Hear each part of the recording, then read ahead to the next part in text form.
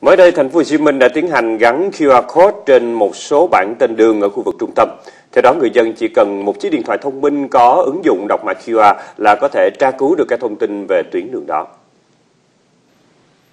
Một số bản tên đường thuộc khu vực trung tâm thành phố như góc đường Đồng Khởi, Lê Thánh Tôn, Đồng Khởi, Nguyễn Du, Lê Duẩn, Công xã Paris đã được gắn thêm mã QR ngay phía dưới tên đường.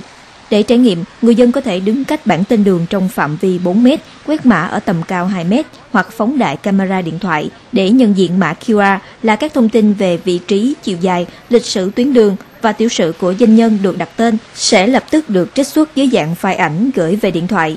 Ờ, em tra thử rồi em cảm thấy là mình sẽ hiểu hơn được cái uh, lịch sử, cái chỗ địa điểm mà mình tham quan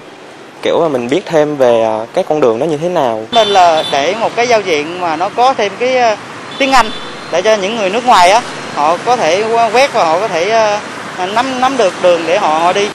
Sở Giao thông Vận tải Thành phố Hồ Chí Minh vẫn đang tiếp tục ghi nhận ý kiến đóng góp của người dân về mã QR để hoàn thiện trước khi lắp đặt rộng rãi hơn.